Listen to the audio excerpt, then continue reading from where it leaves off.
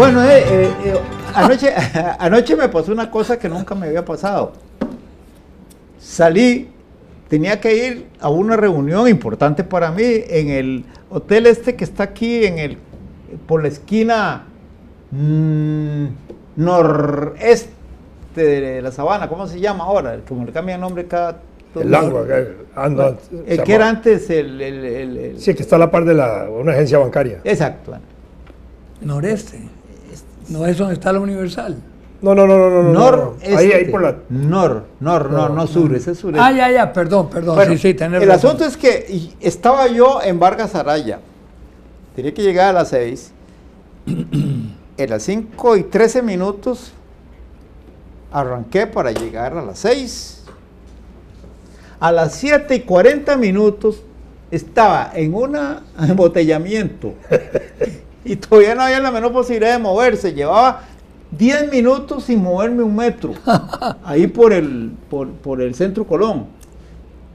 El, u- el me- primer chance que hubo de doblar al sur lo aproveché y, me, y, y- ya, ya era demasiado tarde, pues, obviamente. Bueno, contaba eso porque a mí no me había... 5 y 3, digo, creo que 5 y 13 por ahí salí y eran las 7 y 40, 7 y 40. Sí, sí, más de una hora y media. ey, es, eh, eh, es inimaginable eso. Y no había partido de fútbol. y no había partido de fútbol. Que, que- Bueno, pero esa no es la anécdota. no, no, no, Ah, no, bueno. no, no, yo les quería contar que de acuerdo Ah, bueno. con... Me llaman para contarme que hay un alajuelense que estaba en Toncontín cuando las autoridades... Perdón. Una brevísima. es el aeropuerto. Sí, perdón. De Honduras. Una pequeñísima eh, interrupción. Decía Roberto Fernández, si me perdonan. ¿Ustedes saben por qué se llama Toncontín el aeropuerto de Tegucigalpa? No, porque hace el avión Toncontín. Es muy Bueno, peligroso aterrizar. Claro, tiene que parar así frente Bueno, a el asunto es que Bueno, perdón. eh, el- eh, es- este hombre habría informado que lo que pasó fue lo siguiente, porque están diciendo que qué buena la policía hondureña, que Y la pi- Interpol. como, como dicen a la abuela también, pistola. No hay tal Mirala como decía No, no, no. La policía hondureña sí tiene debe tener sus méritos, pero tampoco es así como que como que sea la del Mossad. no. El papá de Tarzán. La explicación es esta, como en las universidades centroamericanas y latinoamericanas en general, pero están mandando al diablo los estudios clásicos y humanísticos. En Honduras también, es más, en Honduras primero que muchos. Entonces hay un joven profesor de filosofía hondureño graduado en Oxford que perdió el trabajo, lógicamente, y entonces le dieron chamba como agente de migración en Toncontín. Y ahí estaba él, en su trabajo, y se da cuenta que hay cinco griegos que vienen entrando. Entonces Y él decidió hablaba ir a griego. practicar el Su griego. griego y se dio cuenta que ninguno lo hablaba. Es- así que fue por razones académicas. Eso se llama pura guava. Una guava académica. Una guava académica. Bueno, esa, esa- esa es la historia que cuenta ese alajuelense. Me parece que, que explica todo, porque la, la, de- la provincia de Beirut, de Brasil, de Argentina, sé quién, y, Se y- brincaron Costa Rica, se- la hondureña, no, no es que yo la- ¿qué tenía la hondureña que no tuviera la tica? O, o la, Sí, sí, o- o claro. la de Buenos Aires, ¿verdad? No sé. Sí, sí, claro. En fin, ahí tienen ustedes la explicación. Digo, Bueno. para ese caso, porque queda el de los cubanos, ¿verdad? Que cada vez se le sacan más, más virutas a- a- a- a ese tronco. Sí, sí, sí. sí. Yo- hay una, la declaración del gobierno de Cuba, de la Cancillería cubana Sí, sobre el además caso. muy, muy, pues, muy bien, decir, nada así histérica. eh, eh, no, no, A mí me parece impecable. Sí, impe- esa es la palabra. Hay un impecable. argumento fundamental, hay otros, pero ese es el fundamental, es que estas personas salieron legalmente de Cuba. Así es. Eh, Las autoridades cubanas le sellaron sus pasaportes, obviamente, Todo, y- sí, salieron sí, y pueden volver en cualquier momento a Cuba legalmente. eh, Sí, sí. Ese es el punto. Claro que, hey, ahora, ¿quién le pone, quién le pone el cascabel al gato? Ah, en en materia migratoria cubana, históricamente hubo restricciones de salida. sí, claro. Y una de esas restricciones era los profesionales, porque a la revolución cubana le costaba mucho prepararlos, obviamente, y era gratuita toda la educación. Entonces les prohibían. Ahora están dejando salir profesionales, incluso por las, por las ayudas que da Cuba a algunos países de Sudamérica de mandar médicos y maestros y otro tipo de cosas, pues eso van masivamente. En Venezuela habían 40 mil médicos. ¿Cuántos? 40 mil. ¿Cómo puede ser? Chica. Sí, sí, claro. Distribuidos por todo el territorio Pero nacional. 40 mil. Sí, en ayudas. Qué horror, en, yo no tenía en una misión que se llama Barrio Adentro, Sí. Que cubría todo el territorio. de- 40 mil cubanos. ¿no? Imagínate. Médico. Ah, bueno, eh, médico, todo médico no. La mayoría trabajando en barrio en, en el campo médico, pero eran en una cantidad Sí, sí, sí, gigantesca, entre las cuales habían ticos graduados en Cuba, Ajá. allá, que estaban en Caracas cuando yo estaba embajador. Y trabajaban ahí en los barrios cercanos o en el interior de Venezuela. Pero entonces están mandando. Entonces esa gente ya está saliendo. Si Cuba está dando visa de salida ahora normal, es porque no hay restricciones de salida para nadie, ni para profesionales ni no profesionales. Y si están saliendo masivamente, por decir masivamente, cerca de mil por mes, ¿verdad? Están ahí. A eso suma, digamos, la política de Estados Unidos de estar reclutando algunos profesionales de interés de ellos, como son los enfermeros y los médicos y algunos otros profesionales que les interesa a Estados Unidos jalarlos, así como aquí se preparan enfermeras que van a trabajar a Estados Unidos por el nivel alto profesional que tiene la preparación de enfermeras en Costa Rica, que además son muy bien pagadas aquí y mejor pagadas en Estados Unidos.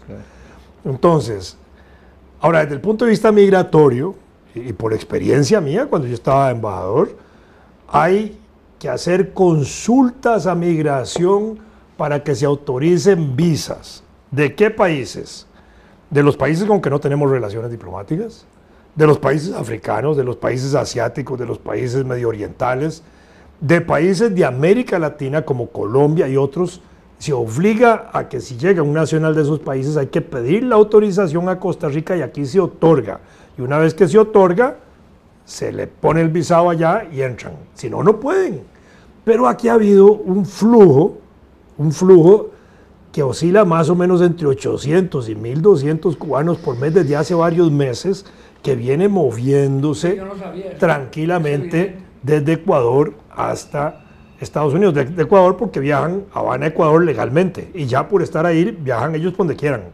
Y ahí se monta en una empresa de coyotaje, de mafias que se encargan de mover gente que involucra eh, agentes de aduanas, agentes migratorios, funcionarios de gobierno, altos funcionarios de gobierno, empresas que se organizan para mover eso desde el punto de vista del transporte, de la estadía, el hospedaje, los hostales, la comida, la movilización de frontera a frontera, ¿ah?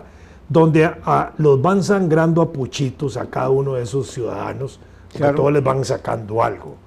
En este momento, me- a mí, ahora esta es una tesis mía, me parece que lo que ha sucedido con estos cubanos, que de pronto este gobierno se puso las pilas y ha actuado correctamente, regulando la entrada legal de ellos en tránsito por siete días, ah, suponiendo que duren siete días sin llegar al norte, les quita, con eso les corta los tentáculos de la corrupción y el, del coyotaje organizado que va ahí para arriba y afecta intereses locales de alguna gente que está involucrada aquí, pero más afectado en Nicaragua, Claro. porque en este momento cuando se le cortan los tentáculos aquí al coyotaje, en el fondo se cortó el coyotaje y, Y los tentáculos de Nicaragua y de Daniel Ortega, si fuera del caso que estuviera involucrado allí Claro, metido, es, eh, y que por eso nos está devolviendo el problema, porque se le cortó el flujo de plata Claro, el- que estaba ganando por cada cubano que estaba pasando ahí Eh, para arriba. eh, eh, eso es el. A mí me parece que ahí está el. el- el- eh, eh,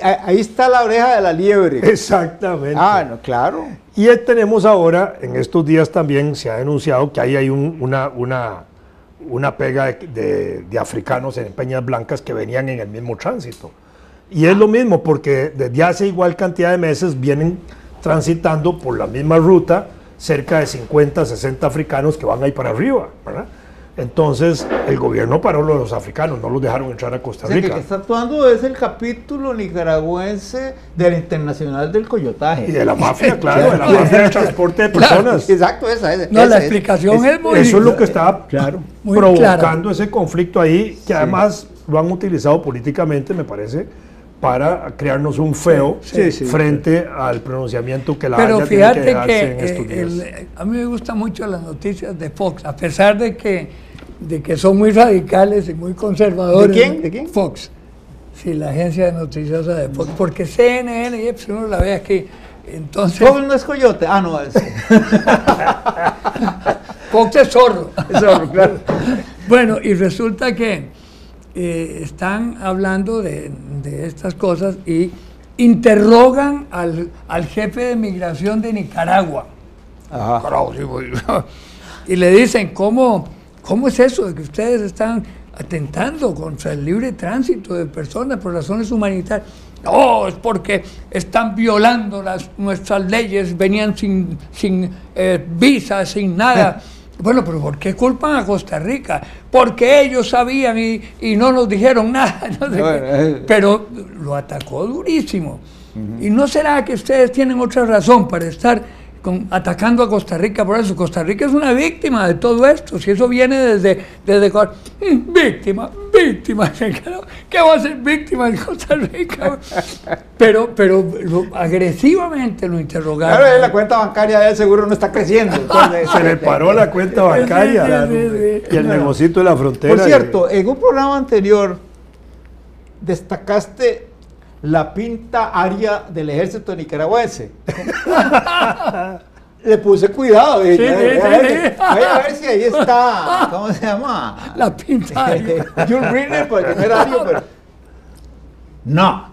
No, No, no, no, no. Era lo mismo. Pero en la foto lo, único que, lo único que con, Eran unos cuantos con- cheles, como dicen en Nicaragua. con, Chelitos. la, con la parafernalia ese que se ponen, que parecen iraquíes, Sí, sí, es- sí, sí. pues, pero no, no, no, no, no, no, no, no, no, típicos, típicos, Sí, típicos, típico típicos, es- sin, sin entrar en, en, en, en- en- en cuestiones raciales. en es análisis sí, peyorativo. sí, pare- parecía, por así decirle, de, de Brasil de eso era- yo, yo no... Me impresionó mucho eso de que estuvieran seleccionando.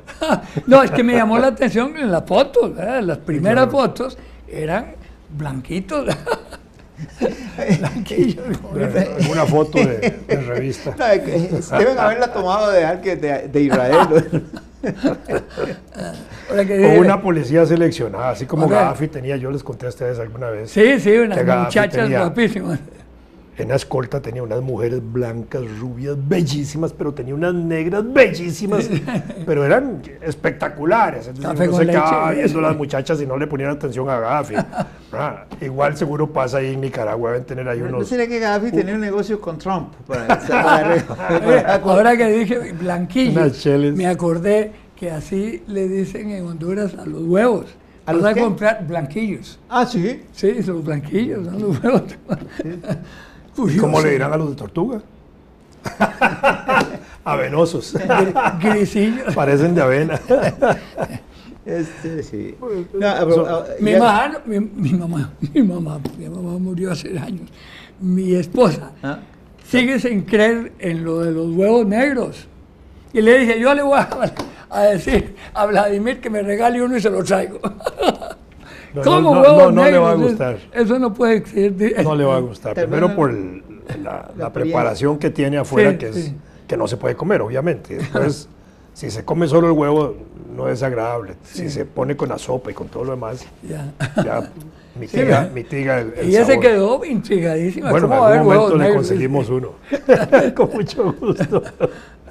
Propósito de un programa anterior que hablamos de matrimonios gays y eso, y, y yo sugerí aquí el, el artículo constitucional de que la Constitución, en su artículo 52, no hablaba de hombre-mujer, sino que yo había dicho personas, eh, el querido amigo nuestro, Víctor Pérez, gran abogado costarricense, me mandó una notita diciéndome que efectivamente el, el artículo no habla de personas, habla de cónyuges. Ajá. Y cónyuges no dice hombre-mujer, Sí. ¿verdad? Y eh, sí, en eh, ese eh. sentido, volvemos otra vez al punto. Es decir, si el notario hubiera casado, va a ser artículo 52 diciendo, ante mí aparecen dos personas que se dicen entre sí cónyuges, pa, y los casa con ese artículo, le crea el problema al registro, ¿cierto? Sí. Pero no está actuando contrario a nada, está actuando con la Constitución. Ahora, eh, eh, yo, yo leí ese, ese, ese Oye, email sí. de, de- del doctor Pérez y es, es realmente Sí, claro. eh, contundente, sí, le aclara eh, eh, todo. Hay dos, dos cuestiones que, que me, me- si no me no recuerdo mal, la definición, hay una definición de matrimonio ulterior en una ley, en el Código de Familia, creo. Ah, sí, el Código de Familia regula. Sí, sí habla- claro. Sí, sí, ahí sí. Pero es entonces... donde la- habla de la procreación y el mutuo auxilio. no, pero no, no, la, no, pero la este- Constitución no. No, no, la No, constitución pero el no, Código de Familia sí lo hace. El Código sí. Pero Claro, la pregunta Pero el que- Código de Familia tiene un rango inferior a la. Constitución, Ah, pues claro, en todo pues caso. claro. Entonces, alguien no podría dirigirse a la sala constitucional objetando ese refinamiento del Código de Familia, porque si la Constitución no lo establece, ¿por qué el Código de Familia lo establece? Es mi pregunta. Estoy de acuerdo. Yo, yo pensaría igual que vos en esa dirección. ¿Verdad? Y que la sala, más bien en base al artículo amplio de, de la Constitución, podría tolerar y Ya. permitir Oíme, que personas del mismo sexo se casen. si me permiten, claro, ese, ese artículo de la Constitución, esa Constitución fue redactada en una época en que no existían tantos problemas en cuanto a, a- a las... Es que estaban en el closet.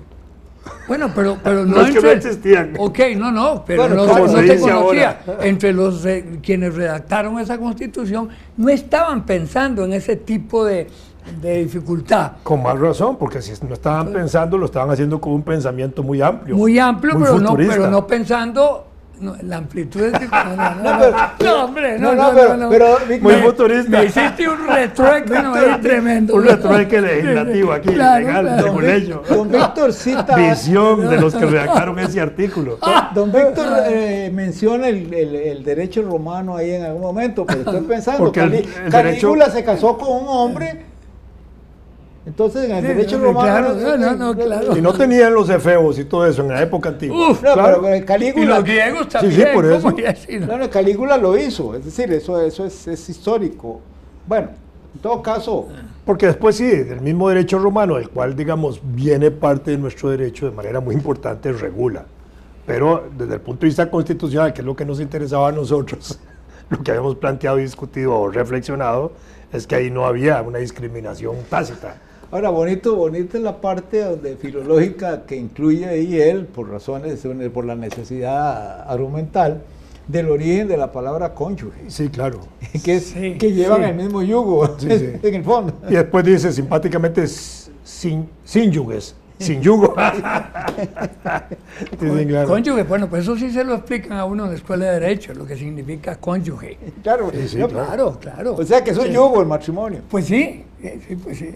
Ah, ah, eh, que te oigan. Mi abuelita decía que el matrimonio eran como dos piedras rodando en un río. Y que al final se iban haciendo redonditas las dos. Eso está bueno. Acordate, yo un día de estos que lo mencioné, que perdonen que yo cito mucho a Roberto Fernández, pero es que tenía unas salidas de esas, que decía que, que el matrimonio definitivamente era el peor enemigo del patrimonio. Depende, Sí, depende. A veces, Claro, a veces, a veces eh, en mi caso, por ejemplo, yo le entrego mi salario a mi señor y me va mejor. pues sí, No, pues pero, sí, pero- sí. pero en otros casos como que como que les si va se refiere al patrimonio del que de uno no es así. No, no, por El que- eso, sí. el, el que, el que llega sin nada y el otro tiene mucho. Sí, bueno. Digo yo, bueno, eso es- Él era muy machista. No, no, porque puede ser al revés, ¿verdad? Sí, sí, sí, ella o él sí. que tiene Claro, mucho. claro. Estaba viendo hoy, hoy, por ahí en, en un artículo una, una, ¿cómo se llama? Una defensa del lenguaje inclusivo. Pero muy curioso porque dije yo, "Ey, ¿cómo vamos a ver que...? Y resulta que lo, se refiere a otra, una cosa totalmente distinta a la que nosotros en general hemos, eh, eh, eh, hablamos, sobre la que hablamos cuando nos referimos al lenguaje inclusivo. Él se refiere a la inclusión que significa la verdad. Porque dice, vamos a ver si recuerdo bien el ejemplo.